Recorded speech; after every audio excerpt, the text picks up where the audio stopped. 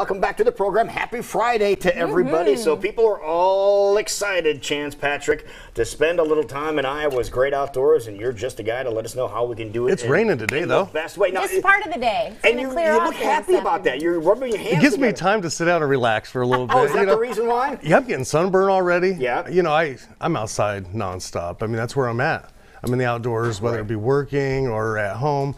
So when it rains, that gives my body time to just kind of go into a zen and relax and Mm-hmm. kind of just ready for the next Soak day. Soak up the indoors. yeah, soak moment. it. Yeah, just soak up a little relaxation, and uh, it's nice out right now. All right. So, uh, what's on the agenda over the next couple of days then? Oh, we got to go racing tomorrow night.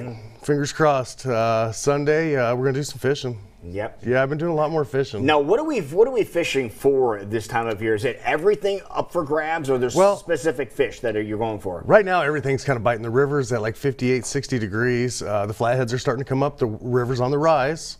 That means those fish will start biting. So I seen uh, Willie from the Mud Bums was out Yeah. setting his, his lines last night, and he was excited because the river's on the rise, and that's good. So hopefully we'll see some big fish come out today. Uh, me and Cooper just been going for whatever wants to bite. Uh, we've been catching some big bullhead, which goes way back in my family. My grandpa was a big bullhead fisherman. You'll never hear anybody ever say that. Yeah, why is that? Why why, do, why are people so uh, opposed to saying that they lo- they love catching bullhead? A bullhead is a rough fish. So when you got big bullheads, it means the water quality is probably not the best. Oh, really? I didn't know that. But they go clear back to my childhood to where we ate bullheads all the time. You Like- ate the bullhead? Yeah, Oh yeah, we eat bullheads all the time. really? Oh yeah, and they're they'd run good. trot lines, and then that'd be you'd get a lot of bullheads on your trot lines. Because you grew up near the river, right? Yeah. Yeah. okay. Yep. So I like bullheads. So when we set out after them the other night, we didn't know they were in there, and I was so excited to pull out. You know, that's a big bullhead. That's pretty good size around. That's Mm-hmm. a big one. So when I was wheeling them in, it reminded me of my grandfather Right. uh, of the times that you know we spent cleaning those fish, and and you I eat them really like like corn on the eat 'em, cob. Oh, I love They're- eating them. they're- they have it's a really strong- they yellow, have a strong stronger taste. It is really Yeah. okay. Yeah, I've never had a bullhead. So, yeah, we, see, we always thought those were catfish when we were kids. Well, bullhead, yeah, it's in the catfish family, but they're, it's a bright yellow meat. And Grandpa used to just skin Really? them. Yep, Mm-hmm. he'd skin them and leave the bones in. Do you remember Heathcliff, the cartoon character? Yeah. Remember he'd take Yeah. the fish and throw the bones? That's kind of like eating a bullhead. are you serious? yeah, you just eat That's them off the bone. Yep. That's very leave the true. tail on, fry it all together. Yeah. I had Same no idea. catfish. Yeah, it's uh, so it brought a lot of good memories back, and now we found a pond that's got some really good eaters in it. So Now I- you said good eaters, as in big enough bullhead. Where you said you eat them like corn on the cob. Yeah, we just skin them, leave the tail on them, batter them with on the ribs and everything, and then fry them, and then you just eat them like corn on the cob. And back you leave the ribs there, or you eat Yeah, the ribs like. no, meat just slides right off all that, and by the time you're mm-hmm. done, you got We to a. Do you like the bigger ones or the smaller ones? I like the ones that are about eight, ten inch Yeah. long. You know, Okay. about once they're cleaned, about, about like corn on the cob, same size. Just to Now you intrigue me. it's good, and it's yellow too. That- That's the It's reason yellow. why you said corn on the cob. Yeah. It's a really yellow We're meat. gonna try that now. It's okay. really good, so we'll All get some We're gonna go agreement. out bullhead fishing. I love it. Okay. So that's been uh, one of our big things right now is just taking him out and letting him enjoy something I enjoyed as a child, and to be able to see those fish come back in has been pretty good. Okay. So Perfect. But technology, that's what we're here for Yeah, today, we're gonna is talk about getting it. Crazy. So before I cleaned out my wallet and I never realized why my back always hurt. So during hunting season, I have to carry all my tags, my licenses, everything in my wallet, so I don't forget them when I head out to the timber because we have to have them. So by the time I unfolded all these out of my wallet Those last are night, folded up in your wallet like that. that is quite a wad. that's a lot. See, people thought you were just loaded. Yeah, yeah, I know. Yeah, I just thought I was full of money, but no, just tags. I spent all the money. Tags. So these were something like. So this is like a harvest tag that did not get filled. So this is one we have to have on us if we're going to harvest an animal. Okay. Because now this Harvest tag's as in a deer. Uh, yeah, this one here is for a deer, antlerless bow. So after we harvest an animal, we take this tag and we peel it off here, and then we wrap it around and seal it. Okay. So let's say this is, we take that off.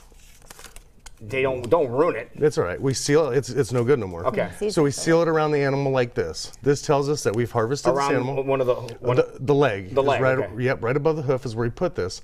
So then it has date, months and dates. You have to notch of the day of the harvest. Okay. Okay, so that's just the first step of this tag. Now, there's two parts to this tag. On the other side is a harvest registration number spot. So when you get home, a lot of people forget this. When you get home, you're still so excited. You're showing all your friends your harvest. You have to call that tag in within 24 hours and re- you know your harvest report. So just jump online and put it in there, Oh, or, really? or how do you do that? Well, that's you can call it in, and they give you a number that you have to write in here. Now, this tag, after you write that on there, this tag comes off, and around right below this tag. That is your proper tagging. Wow. So it used to be you had to call it in or get online and enter all your information. Yeah. So they came out with a new app. Okay, show the app. We have about a Okay. minute left here. There it is. So here's Go that. outdoors. You can go on there and get licenses. Go Outdoors IA. Yes, it's. I was kind of not big on technology coming so fast in the outdoors, but after looking through this app, it's got everything you You're need. on board now. It tells you what time Like sunrise, um, because that's big. Because we cannot harvest an animal till a certain time. You know when the sun, the sunrise and sunset. This tells you sunrise, sunset. Right. The, the um, license thing is a nice. The license- you can buy your because you can licenses on there? what, now, what kind of license can you buy on? Your hunting license, your fishing license, but tags you have to have the hard copy. the hard tag. Okay. But you can get your you can get your fishing license, your hunting license. You can do your harvest report. You can do so many things in the outdoors off this app. And after sitting down and looking through that, I'm hooked. okay, D- so to speak. Uh, yeah, yeah. So to speak, I am hooked. So, but So yeah, we'll it's set a, the trouble hook for you. download that app because a lot of times I go off and I'll, I'll forget my wallet and have to go back home. Yeah, and I maybe you're right heading here. out all excited about going fishing. You forgot to get a, a license. You can just do it online and have a license. Yeah, then right you have there. it right there. So you just pull it up. Don't on get your a phone. ticket. Yeah, it Very saves. handy. Perfect. All right, excellent. So people want to follow along with you, Chance. Where where can they go? Uh, you can find me on Facebook at Iowa's Great Outdoors or Chance Patrick, either one. All right. So- Perfect. That works. Thank you, buddy. Good to see you again. Go spend some time in Iowa's great outdoors. Don't go too far. We're going to get you caught up as